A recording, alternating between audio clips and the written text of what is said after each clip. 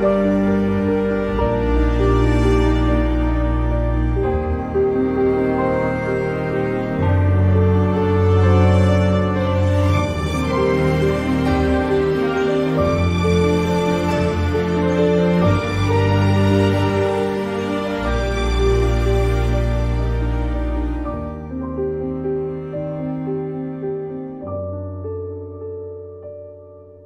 want me to put that on my todger?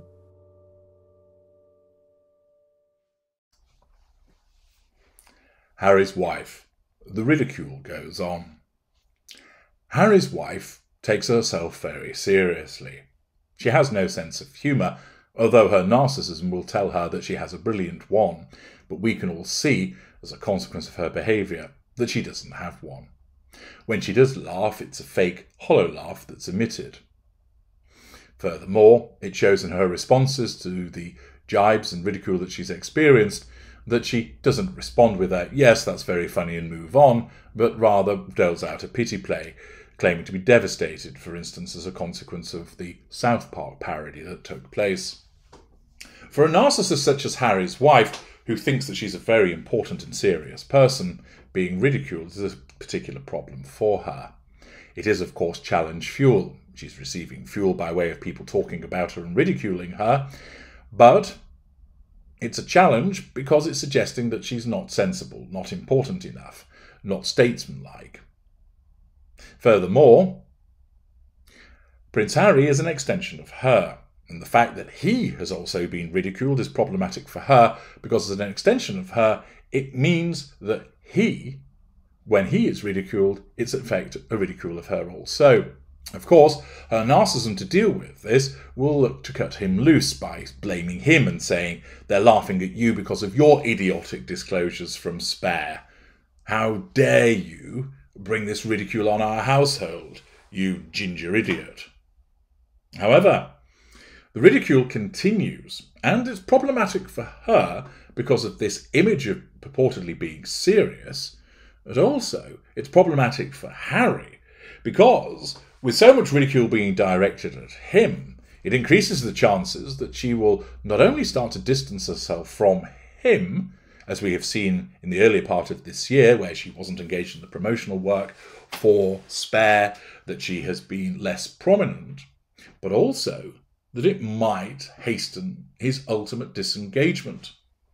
Because if they, through him, are being ridiculed again and again and again with plummeting popularity, her narcissism will see that he is the millstone around her neck, and therefore will essentially encourage her to get rid of him by seeing him as the problem, by seeing that it's him that's caused the ridicule, that it's him that's invited all of these people to point and laugh, and therefore he ought to be gotten rid of. The ridicule continues as reported by Newsweek, as Jack Royston tells us.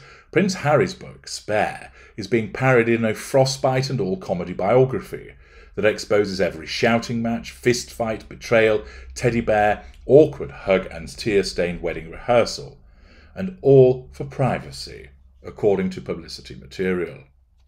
Spare Us, a Harrody, is published by Little Brown, owned by Hachette and was published on the 1st of April, how apt, and sends up the Prince's own tell all memoir, which was published in January.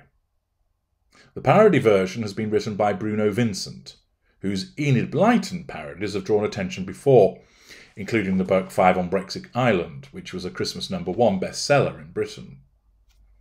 The Prince has been the butt of the joke for some of America's most famous comedians since his book came out in January, making a sharp pivot in the discussion surrounding Harry and Harry's wife in the United States. A press release promoting Spare Us read, He was born into an ancient powerful dynasty and, through no fault of his own, became one of the most recognizable men on the planet. His life was a constant barrage of press intrusion and manipulation. Until finally he demanded that it stop in order to get the privacy he so craved, he has written a frostbite and all book that goes deep inside the castle walls and exposes every shouting match, fist fight, betrayal, teddy bear, awkward hug, and tear stained wedding rehearsal for the world to feast their eyes on. All for privacy. This is his story. Despite their serious image, Harry and Harry's wife have been targets. For comedians since the Prince's Bug told the world how he got frostbite on his penis during a 2011 trek across the North Pole. The real spare read, My penis was oscillating between extremely sensitive and borderline traumatized. The last place I wanted to be was Frostnipistan. A friend recommended him Elizabeth Arden cream, but he described feeling uncomfortable about the choice because my mum used that on her lips. I found a tube, he wrote, and the minute I opened it, the smell transported me through time. I felt as if my mother was right there in the room. Then I took a smidge and applied it down there. Trevor Noah, who just three months earlier was a guest on Harry's wife's Spotify podcast Archetypes, was among those to poke fun at the Prince during the Grammy Awards in February. While introducing British comedian James Corden, asshole, he said James Corden, asshole, is a 12 time Emmy winner and the host of The Late Late Show. He's also living proof that a man can move from London to LA and not tell everyone about his frostbitten penis. Elsewhere, Harry's book was mocked on South Park with a memoir by the Prince of Canada titled Wah during an episode titled The Worldwide Privacy Tour. Jimmy Kimmel, Jimmy Fallon, Saturday Night Live, and Chris Rock are also among those to mock Harry and Harry's wife since the book came out. Now, it's also interesting that this has been published by Newsweek, and Jack Royston, who acts as a lieutenant for the success for Harry's wife in terms of pumping out material that is pro Sussex. What might be read into the fact that he has given basically a list of all of the ridicule that Harry has been experiencing alongside another send up as a consequence of the parody Spare Us a Harrody. Might it be that this is indicative of further work by Harry's wife to distance herself from her husband, having it done so that PR team instruct Jack Royston to write a hatchet piece detailing the various unfortunate behaviours of Harry, listing the various ridicules and putting it all on him, categorising them as being applicable to him and not her. Harry's wife barely gets a mention. It's all about Prince Harry, all about him being ridiculed. The only time Harry's wife is mentioned is in relation to having a serious view of themselves.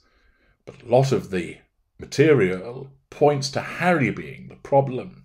And it, to my mind, this is indicative of the steps that are being taken to distance her from Harry for the purposes of potential and forthcoming disengagement. I'm H.G. Tudor. Thank you for listening.